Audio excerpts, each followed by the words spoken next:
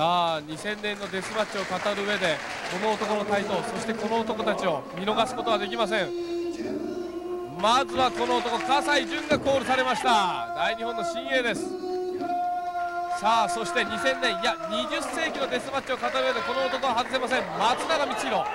そしてこれ豊選手何位ですか？どういった状況でしょうか？いわゆるね、裸足でデスマッチをするというのがこの試合の一つのポイントでしたよね。なるほど。この蛍光灯もね、蛍光灯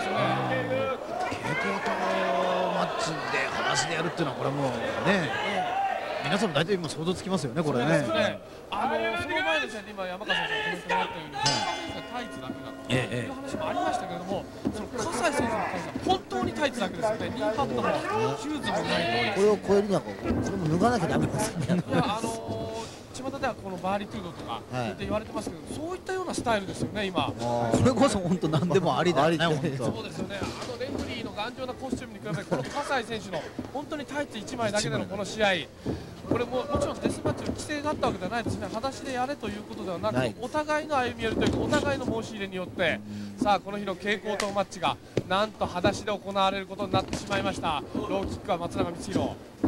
まあね葛西はねやはりこの試合からはい。このなんていうのかな吹っ切れたというのかな。えこの3一戦で。っていうのはあるよね。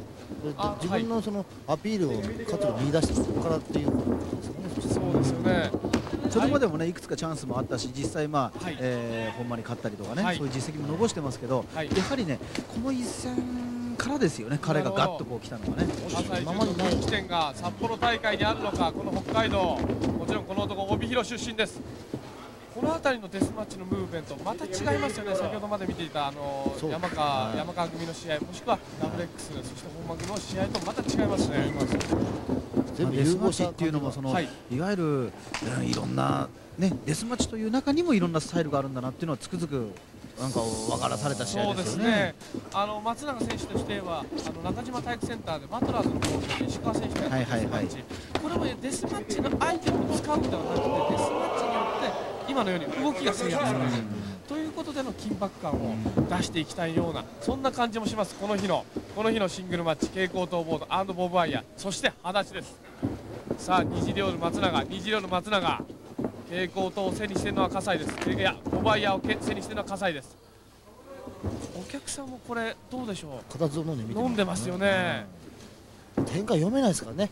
一回終われたらもうそうどういう動きするんだろうという。うん。あのーどうでしょう新世代デスマッチと言われているまあ山川そしてダブル X 本間の試合というのは、はい。どちらかといえば一度その蛍光灯のあ蛍光灯などのアイテムを使われた際にはスイッチが入ったのかのようにこうスタートしていきますよね試合が。はい。しかしこの試合わわーっと危ない。あーっと自爆と言ってもいいんでしょうか危険な赤松永が松永がこの一撃でうずくまった足を気にしてが葛西が馬乗りになってナックルそしてヘッドバットを当てていく一気に葛西が攻勢に一気に葛西が攻勢に試合が動いた試合が動いた試合が動いたんですけどきついんですねやっぱり裸足というのは一気に足元のバランスが崩れていきました葛西がクレイジーモンキーがさあこの辺りヘッドバット当てていく蛍光灯を利用してるヘッドバットさあここでここで打っていくとほれみんな蛍光灯がすぐ割れると思うけど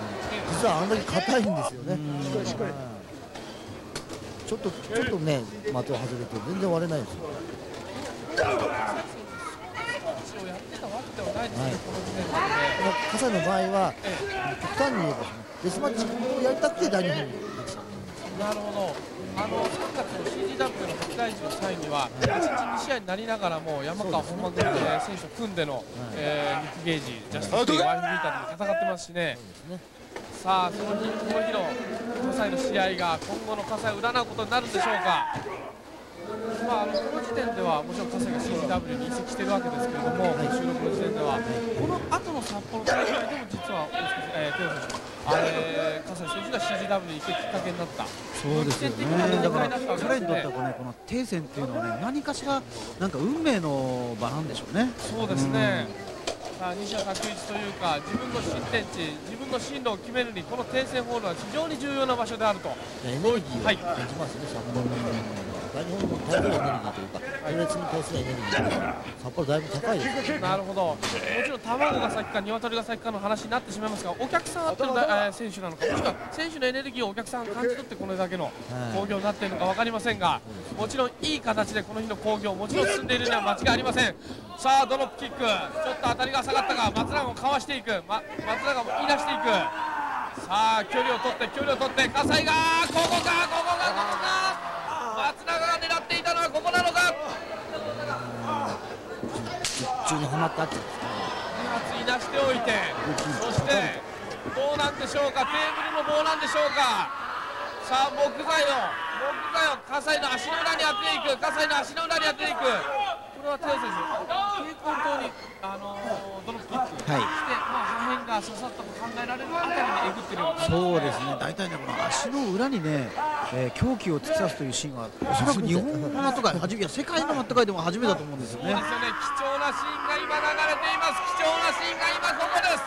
足の中にほら靴の中にとねトゲというか木の破片が痛いのを言うのにこれじゃやれないよ。ねそうですよねさあ足の裏にはいくつもツボが隠されと隠されていると言われますが。これは健康にはならないよねこれはね。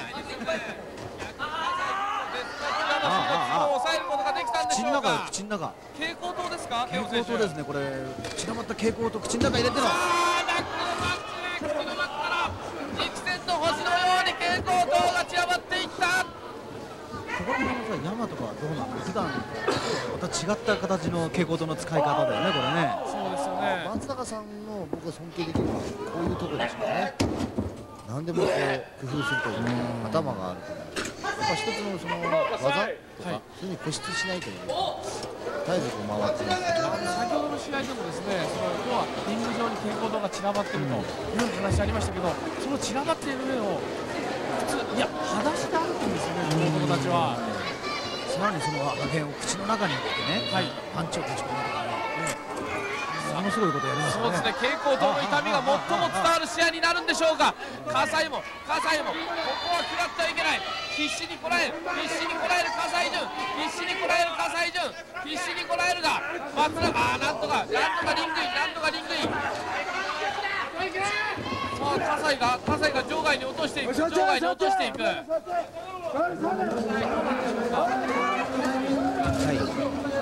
いますけれどもデスマッチで裸足考えつかなかった考えつかない蛍光灯だけに考えつかないんですよねそうですよねなおのこと考えつかないこれまだ有刺決戦とかねそうそういうだったらまだあれかなっていう気もするけどもこのデスマッチあデスマッチを2戦で振り返る中ですでに札幌大会です2つこのような試合が行われているのも、デスマッチバイブルとしてねなかなかいいセレクトだと思うんですけどねそうですよねさあ葛西が葛西がテーブルを持ち出して何を狙っていくんでしょうか。北海道ワールドボーダー HWO 帯広出身の葛西がその幕の前で何を何を自己主張していくんでしょうか。さあアピールするはここしかないと。ステージのステージの真下に何かをセッティング何かをセッティングテーブルをセットして。さあ松永復帰している松永復帰している。山川選手これ松永選手実は前日から入って前日の興行も実は下調べしているわけですよね。前の光さんのリングを見て。はいちょっと悩んでたところを見見ましたあの本来であればトークショーなどのイベントに参加する予定だったのがそのとってもこの地場に生半可ではこれは挑めないぞということで一日練り直して一日練り直してこのような試合を挑戦状を叩きつけていった葛西潤に対する挑戦状そして世間に対する挑戦状がこの裸足のデスマッチとして表現されていく。さあステージの上からなんと階段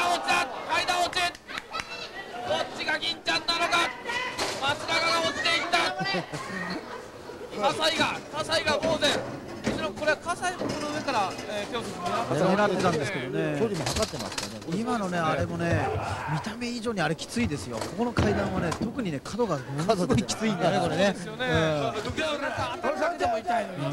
は結構ね見た目以上にきつかったと思いますよ。なるほどさあ葛西が。テーブルの葛西はどうでしょう？テーブルの上に何か松永選手はセットしたいんでしょうか？上からやっぱライブを狙いたいんでしょうね。そうですね。松永によってテーブルが壊せるところを阻止。自ら自ら松永を落としていった。さあそしてラリアットを打ち込む葛西潤。さあ小気味よく階段の上からセットマット。さあ打ち何のアピールでしょうか？段を高くしましたね。一歩上がって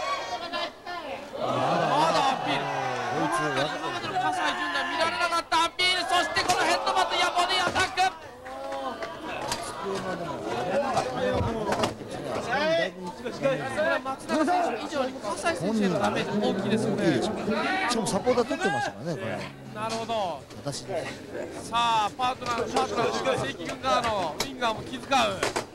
さあどうでしょう、えー、山川選手、あの机が割れることによって、はい、まあその受ける側の選手のダメージはそう変わらないんですけども、攻め手としては割れた方がいいわけですね。そうですね。跳ね返って僕初めて見ましたけど、跳ね返る。なるほど。あの山川選手はあの北海道ではバトラーズのリーグ戦なんかに出場した際にも、こういったあのテーブルの上からのそうですね。ような話をしていますけど、どうでしょうか。テーブルが一つのムーブメントになりつつあってますからね、ハードカーってい。うカテゴリーの中で、スケってい。うのは非常に有効に使われてい。ますから、はい。えー、そうい。ったものも傘では熟知してて、はい、とい。うことでい。かんせん傘の場合はやっぱ両手のあーっと何をやったのあーちょっと解説してい。ただきたい。んですけどもい。わゆるね相手のタックルを、ね、受けるとブロックダウンというのがあるんですけど、はい、それをやったらその下に傾向があったということですよね。ただそれをサソリ水して、向こうがスタンピングしてきたのを避けて足の裏をねまたキックやってまあこれ読み合いですよねこれね。サイとしてはその一歩二歩先を読んで。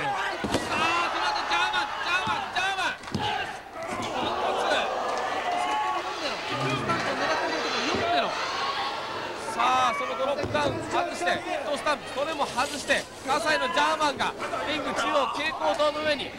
これ有刺鉄線の国の健康とに巻かれてるわけですね。さあ足4の字フィギュア4レッグロック。足のあたり。どうでしょうあらゆる形足の裏攻撃できますからね松永としては。さあ諸刃の剣。あ気にしています。破片がね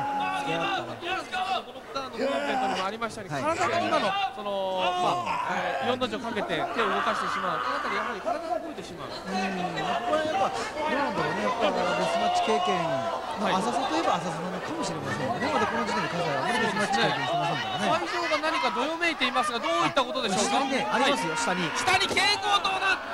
松永が狙っていたここなのか。膝が落ちましたね。さあリング中央に蛍光灯ボードを引いておいてロープに振った葛西潤の動きが今ここでチェックメイトとなってしまうのかだからね、なんていうのかな、この蛍光灯のね、あの使い捨てないとずいぶんいろんな使い方があるなっていうのは本当感じますよね。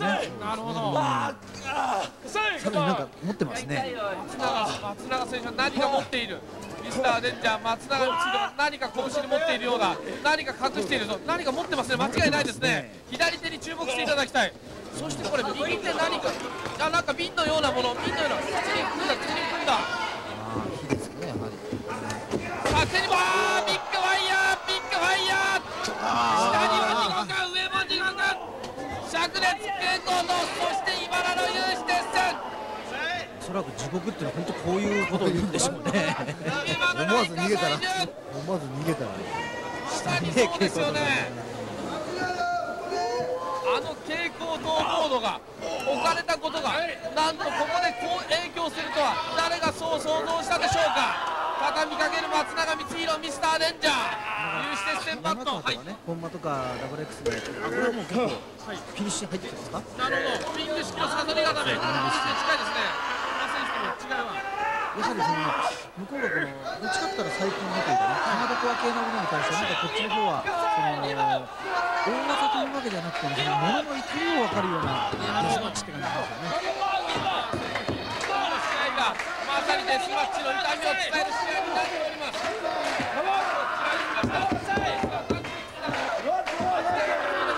スマッチの確実さまさにここ真骨頂札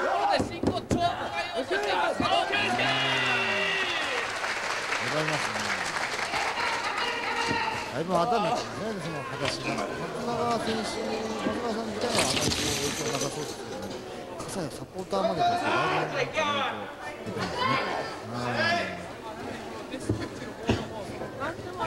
ファイトスタイルのそのファッションマッチであれば、エスケープもなかったんです、ただスピードが落ちる意味での松永光弘のそのデスマッチであればエスケープもあると。そこに助けられた葛西潤ですがなおもなおもよりすごいよりすごい地獄に足を踏み入れてしまうことになってしまうんでしょうか。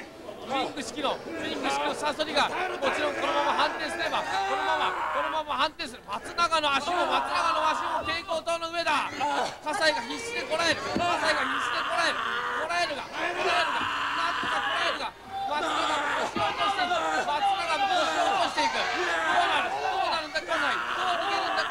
くたばまで力尽きるまで待っているような感じですね。